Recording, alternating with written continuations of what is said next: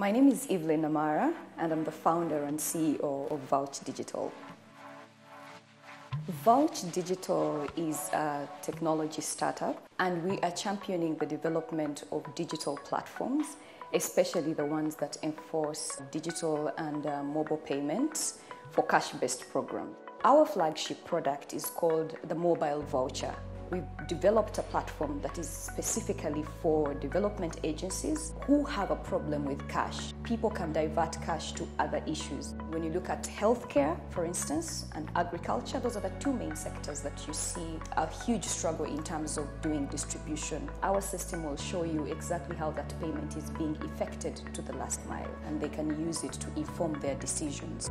And so we are looking at ourselves and saying, how can we help build better platforms, especially that are digital, that can help this distribution crisis? And it's across Uganda.